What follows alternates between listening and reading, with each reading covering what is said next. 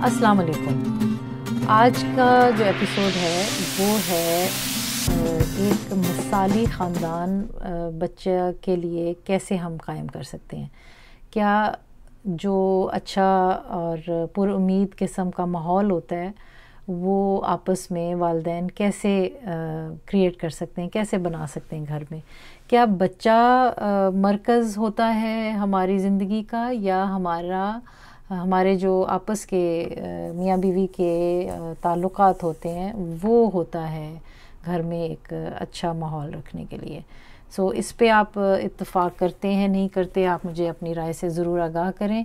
आप सुन रहे हैं लाइट अप विश्वा को या देख रहे हैं जो एक हफ्तावार प्रोग्राम है और वो बाशाउर वालदेन हम कैसे साबित हो सकते हैं और बाशाउर तरीके से हम ज़िंदगी कैसे गुजार सकते हैं। ये है इसका, इस पॉडकास्ट का, इस इंटरनेट रेडियो का टॉपिक अब, आज हम बात करेंगे कि कौन से अवामिल हैं जो हम, जो बच्चों के लिए पुर उम्मीद साबित हो सकते हैं, उनके लिए यकीनी हम उनके लिए बना सकते हैं और उससे वो एक, अपने ऊपर एतमाद रखते हुए अच्छे इंसान कैसे बन सकते हैं?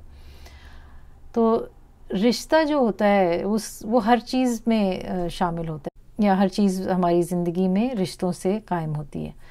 और वो हम कैसे बरकरार रख सकते हैं? क्योंकि उनके बगैर कुछ भी नहीं होता। हर चीज़ का एक रिश्ता होता है। और बाहमी जो रिश्ते हैं, उनसे हमारी ज़िंदगी बनती है। तो उम्मीद है कि आप इससे इतफ़ाक़ करेंगे। अगर आप को कोई मुख्तलिफ़ राय है तो आप हमें, मुझे ज़रूर बताएँ अपने कमेंट से मेरी वेबसाइट पे जाके light of Vishwa dot com पर या फिर आप किसी भी यूट्यूब चैनल पे जब आप लाइट ऑफ़ विश्वा को सब्सक्राइब करें और बेल आइकॉन दबाएँ तो आप वहाँ पे भी इजहार कर सकते हैं। आप इंस्टाग्राम या फेसबुक पे भी जा सकते हैं, लेकिन अगर आप यूट्यूब पे देख रहे हैं या सुन रहे हैं तो ज़रूर कर दें और या वेबसाइट के ज़रिए से कर दें। तो उम्मीद है कि आप ज़रूर मुझे रबता करेंगे।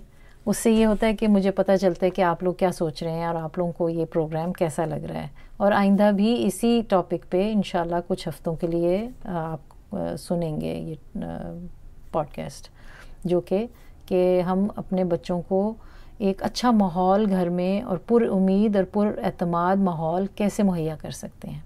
ठीक है? अच्छा जी, आगे चलते हैं कि एक मावन जो नेटवर्क होता है, एक माहौल क्रिएट करने के लिए ज़रूरी होता है। और उसमें उसको कह सकते हैं कि आप एक सेहतमंद किस्म का माहौल बना रहे हैं। और वो ताल्लुकात अच्छे हों तो फिर अच्छा ही होता है। घर में भी अच्छे ताल्लुकात हों और बाहर भी। बच्चे फितरी तौर पे ही पुरुद पैदा होते हैं। ये साइंस के मुताबिक भी है, हमारे तजर्बे के मुताबिक भी है। बच्चे बहुत ही खुश अखलाक और खुश होते हैं। हम उनको, वो डांट डांट के या उनको हर चीज़ पे वो जो रुकावटें क्रिएट करके और रोक रोक के उनको एक एक अजीब सा वो इंसान बना देते हैं और उनको अपनी जो उनकी अल्लाह की तरफ़ से कुदरती तौर पे जो एक स्पॉन्टेनिटी होती है या उनमें एक वो ज़िंदगी की एक को खुश तरीके से खुश खूबसूरती से देखने का जो एक जाविया होता है, उसको हम उनको रोक रोक के ही ख़त्म कर देते हैं। मेरा ये तजर्बा ये भी है।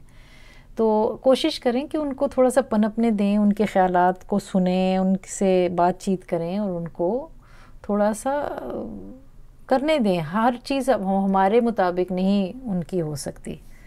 बहरहाल, बच्चे फितरी तौर पे, जैसे कि मैंने कहा पुरुद ही पैदा होते हैं और एक घर में उसको एक पुरुद माहौल बरकरार रखने के लिए वालदेन अपनी ज़िंदगी में कैसे अपने आप को देखते हैं? पहले तो आपस में आपका कैसा ताल्लुक़ है, ठीक है? उसके बाद जब कोई मुश्किलें आती हैं या मुश्किल हालात आते हैं तो आप उसको किस तरह से देखते हैं?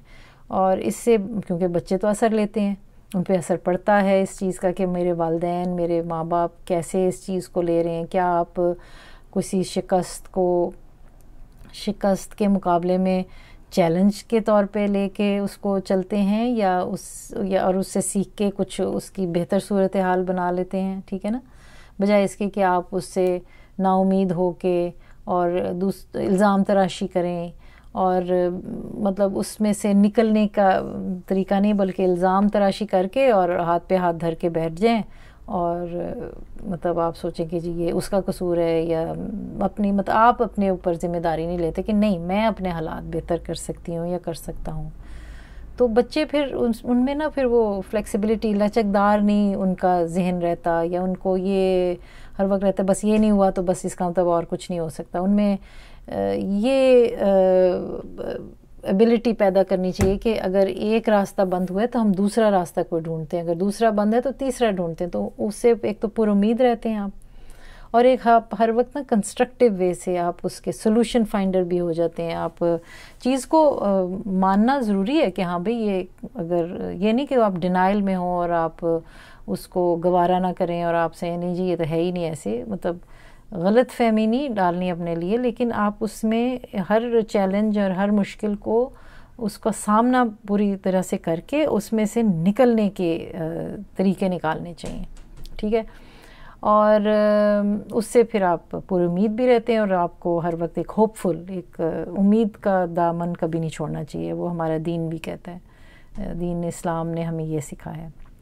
तो वो वालदेन जो ऐसे करते हैं, जो अच्छे होते हैं और ख्याल करते हैं अपने बच्चों का और का, उनका एहतराम भी करते हैं और हकीकत पे मबनी उनकी चीज़ें होती हैं तो उस तरह के वालदेन के जो बच्चे होते हैं, उनका जहनी तौर पे भी वो म्यारी भी होते हैं और मानी खेज़ वक्त गुजारने का उनका भी मतलब उनका अच्छा वक्त गुजरता है, मानी खेज़ भी होता है और पेरेंट्स भी आपस में एक अच्छा उनका, उनसे, उससे भी बहुत अच्छा रबता उनका आपस में बनता है, उनके ताल्लुक बेहतर होते हैं।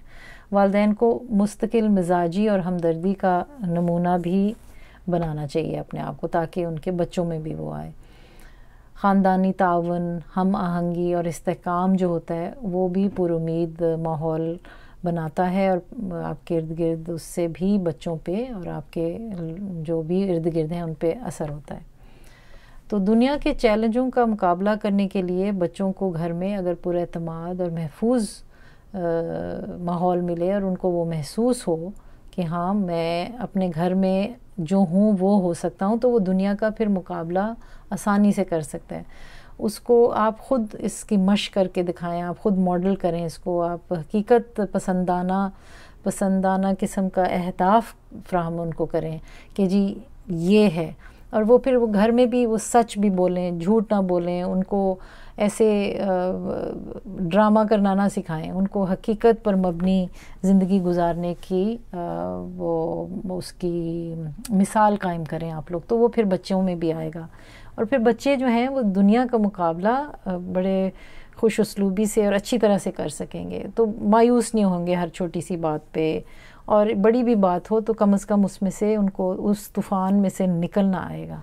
ख़ुद से इसकी मॉडलिंग करने से आप में एक अच्छा माहौल पैदा हो सकता है और आपके बच्चे जो हैं इन इन चीज़ों से सीख सकते हैं। तो ये थे चंद नुकात जो मेरी नज़दीक ऐसे हैं जो हर कोई आसानी से भी कर सकता है। लेकिन पहले आपको अपने आप पे तवज्जो देनी पड़ेगी और आपको अपने जो, जिसको कहते हैं, ताल्लुकात हैं, वो आप हकीकी तौर पे अगर अच्छे होंगे तो बच्चों को नज़र आएँगे तो आपको कुछ ज़्यादा उस पर काम नहीं करना पड़ेगा। अगर आप सही होंगे तो बच्चे भी सही हो जाएँगे इन तो अगली बार तक के लिए इजाज़त दीजिए। उम्मीद है कि आप इस चैनल को सब्सक्राइब भी करेंगे, सुनेंगे, शेयर करेंगे अपनी फैमिली से और अपने दोस्तों से। आप ज़रूर मुझे ये भी बताएँ कि आपको कैसा लगा है। आप अपनी राय से आगाह करिए। ओके जी। शुक्रिया।